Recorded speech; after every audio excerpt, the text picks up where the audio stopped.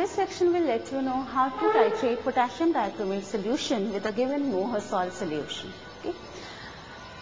This is potassium dichromate solution. Its aqueous solution is yellow in color and therefore is easily distinguished from the other solutions. There is no need of confusion, uh, confusion anywhere. This is Mohr salt solution which we had prepared just now a while ago. Okay. Potassium dichromate solution will be taken as an intermediate in this uh, titration okay, and therefore it will be taken up in the burette okay, as indicated in your earlier section. Anytime whenever burettes or pipettes have to be used, they have to be rinsed with the solutions to be filled in. Okay. So you will be first rinsing up the okay. Just a small amount is sufficient for rinsing purposes. Please don't waste large quantities of the solution for rinsing purposes because it will not only lead to the uh, reduction in the uh, overall quantities to be used, but also it will lead to the increased pollution. Okay, we can't avoid it, but we can minimize it from our side.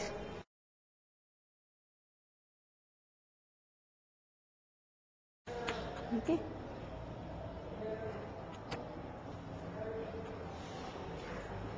Now once it has been rinsed, place funnel on the top of the burette, loosely hold it and fill it with the potassium dichromate solution by ensuring first that the nozzle at the bottom is tightly closed to avoid any leakage of the solution. Fill it up with the potassium dichromate solution.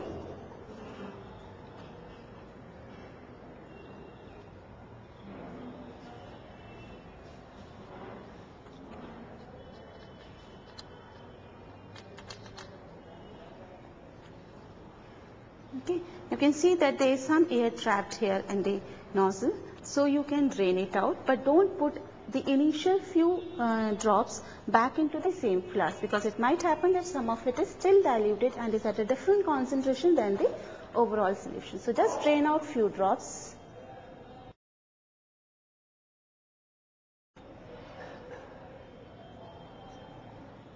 Just few drops, okay?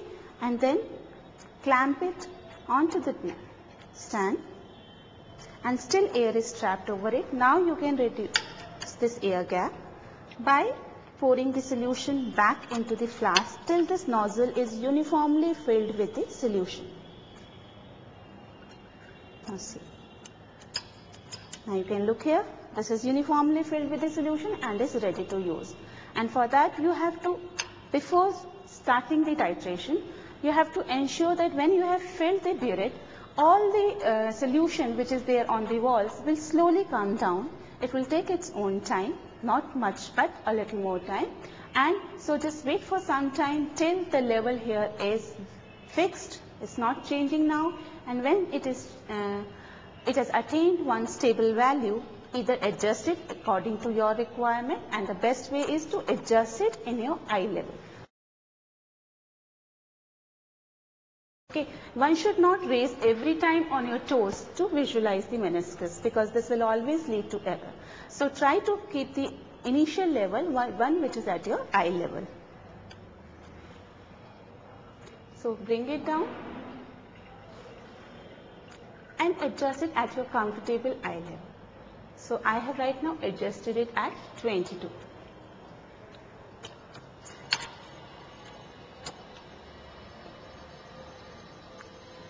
Now, to note down the initial reading, this also has to be taken into care as indicated earlier in your uh, instructions in the previous experiment that for the colored liquids, we normally note the upper meniscus because noting the lower meniscus is difficult.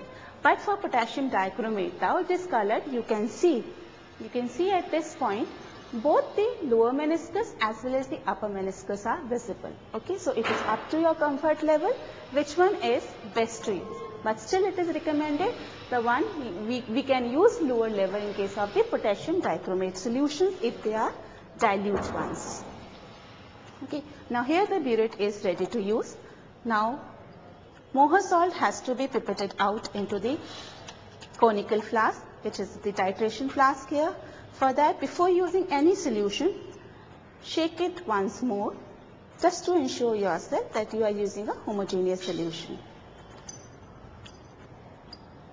Remove the cap and every time the cap has to be placed on a clean surface only because you are going to replace it back here and this should not contaminate the solution. Okay. Keep it on a clean surface. Use a pipette sucker. First, for rinsing purpose only, even without pipette sucker can be done. Simply insert it here. It will have some of the solution raised into the burette because of the uh, pipette, because of the capillary action. Simply rotate the pipette.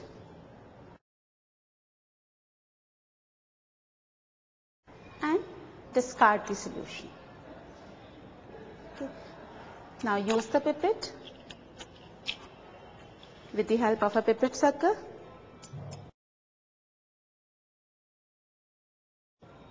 Tip it here, rotate the knob. Rotating the knob from upside down will lead to sucking of the solution into the pipette. This is a graduated pipette. Markings are already there for each ml.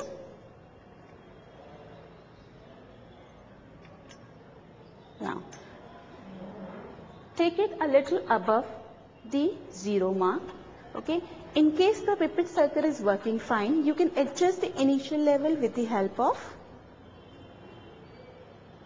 pipette sucker only. You can see the lower meniscus here is touching the zero mark. Okay.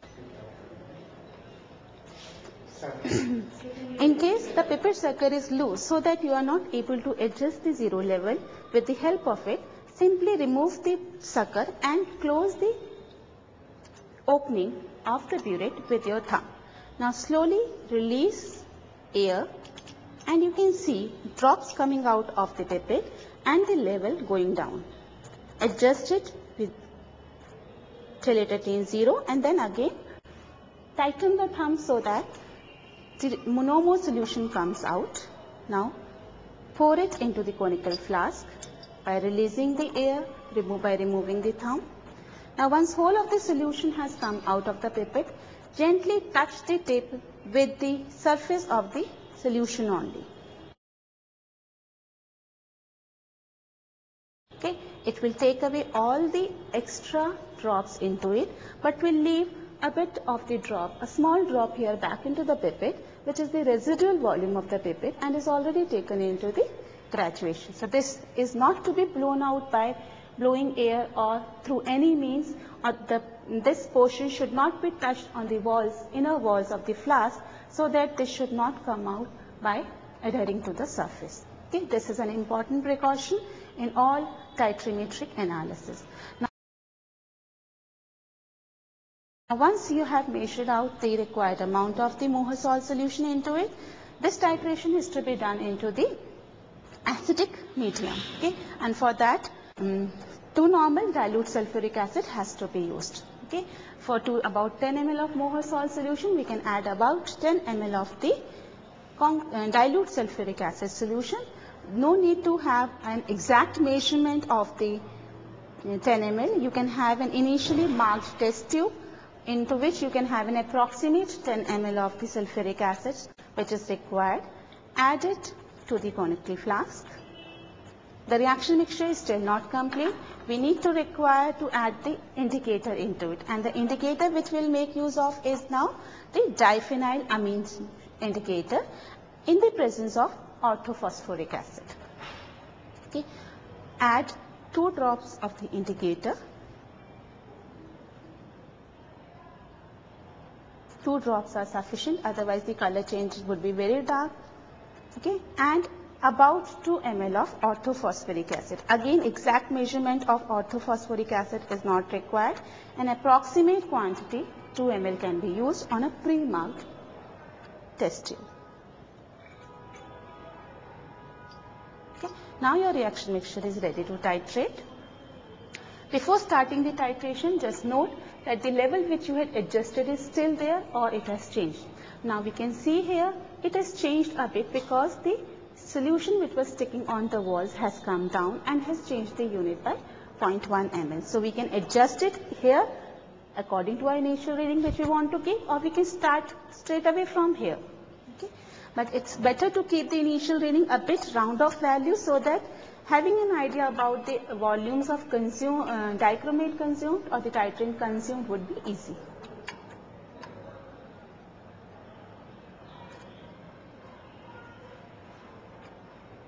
So we have adjusted it at 22 ml.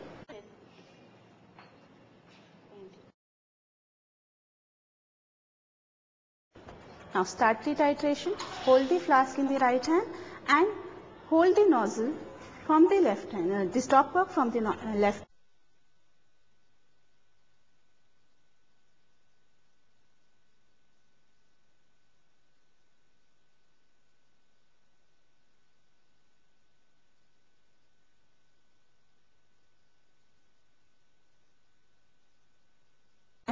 and start adding potassium dichromate solution to it all the while stirring the solution.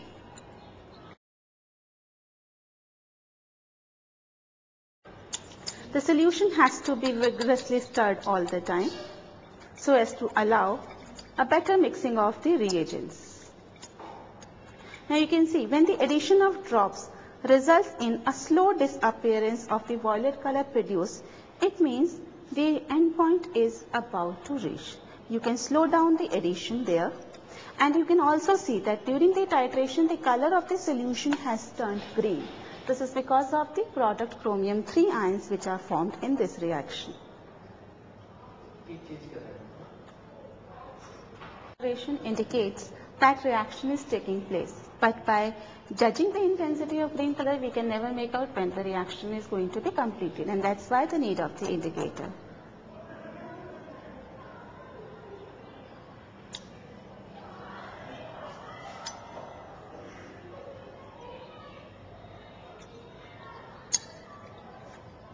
You can see addition of each drop is producing a localized blue-violet color which is disappearing on swirling.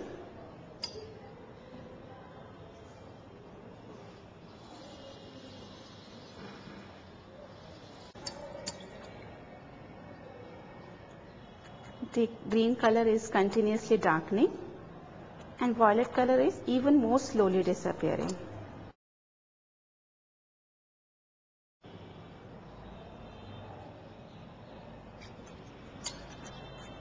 See here, this is somewhere a mixed shade. We have to get a proper blue-violet endpoint.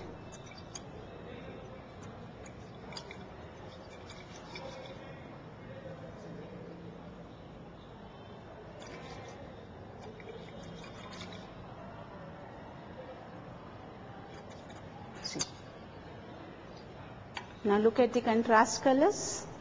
The earlier green color and now the blue violet color which has produced. Okay, This is the end point of the titration and now we can note down the reading which is 33 ml here. Okay. 11 ml has been consumed for this titration. Okay. By this way, this is one reading which we have obtained. Now you are going to take similar three readings, three concordant readings. Concordant means one after the other. It should not be a gap of one, two or three readings that you are getting the same readings. It should be one after the other that you are getting the same readings. In case you are not getting the same readings, then there is a problem either in the cleaning of the apparatus which has resulted in the change in the concentrations of the solutions which you have taken or it could be a, a, problem with your standard solution which you have prepared. The weighings are not proper or the solution has not been properly homogenized. But in any case whenever you are not observing a concordance in the reading, please note all the problems to your instructor immediately before wasting the time so that your problem can be solved out in time. This is the titration of the dichromate with, uh, with the standard solution which you have prepared. By this you will note down, uh, calculate the uh, normality of the dichromate solution. You will carry out this titration same, exactly in the same manner with the same quantities required now with your given solution whose concentration is to be determined. Okay? And then coupling the calculations of the two will lead to know the result of the uh, strength of the given Mohr salt solution. Okay? This indicator which we have used here is diphenylamine in presence of phosphoric acid and this is an internal indicator. Internal because this has been added to the reaction flask and it has resulted in the formation of the um, uh, color change, uh, production of the color change within the reaction mixture. But we can make use of another indicator here in this titration apart from the internal indicator and that is the use of the potassium ferricyanide solution. This is an external indicator which we are going to use. This is external because this is not going to be added into the conical flask. This will be taken on the apparatus. This is called grooved tile. It has grooves into it and these grooves will be used for putting up the indicator solution. Okay. Now for doing the same titration with the help of an external indicator, now we are starting the titration again.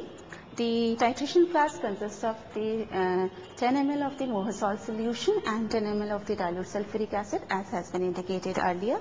This will not contain now diphenylamine or phosphoric acid. That combination is the internal indicator. Okay. Now this will be titrated here.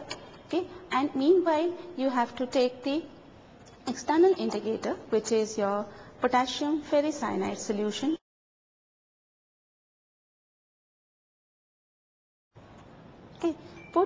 the drops of the external indicator here on the grooves.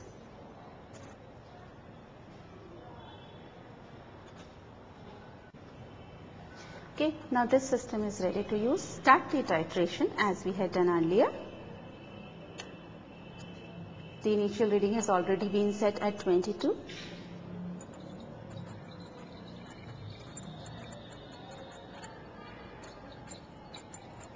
Now see from the internal indicator we have an idea that the reading is somewhere near 11 because we have carried out one okay. titration. This green is so appearing because we have an idea and therefore we can ferrous ions are forming a problem. And about 5 to 6 ml at least in one go because we know that till then the reaction endpoint is not coming.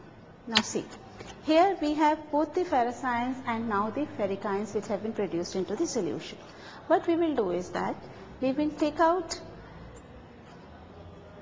a drop of the reaction mixture. Please be sure that when you are removing this conical flask, the burette is not dripping. Otherwise, it will lead to introduction in uh, errors by loss of quantities. Dip the glass rod into the solution and put it onto the. Now see the color change which have been produced.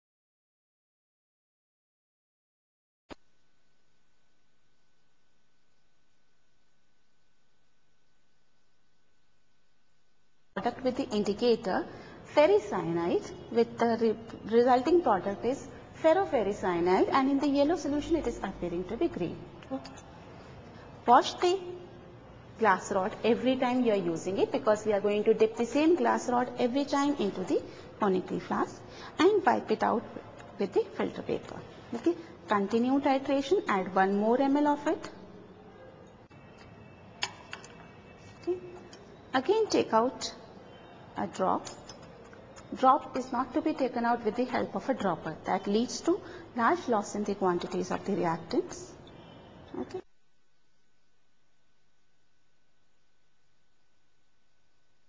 See. Still we can see here the color is there, color change is there which is slightly greenish. Okay. Again wash it. This washing procedure is not to be avoided in any case because in that sense, in case you are avoiding the washing, you are taking the indicator sticking on the glass rod into the conical flask. Add one more ml to it. Now here the color is changing from greenish to slight yellowish green. That indicates that we have already added a bit excess of the titrant and the titration is almost completed.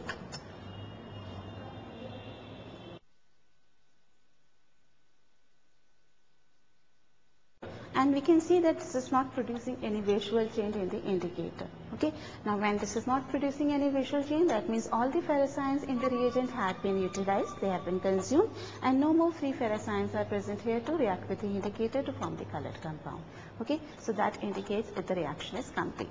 But however, when we are comparing this external indicator titration with the use of the internal indicator, we will always find that the external indicator always are associated with greater sources of error. Because in the titration involving the external indicator, we are always taking out some quantity of the reaction mixture out into the groove tile and that is leading to the loss of the reactant and therefore some error is introduced at each stage. Okay. Therefore, we can never take the uh, results to be very accurate, to be very reliable, but still such kind of indicators are used where we find that no other suitable indicator is available for the system, no other method of judging the endpoint is available.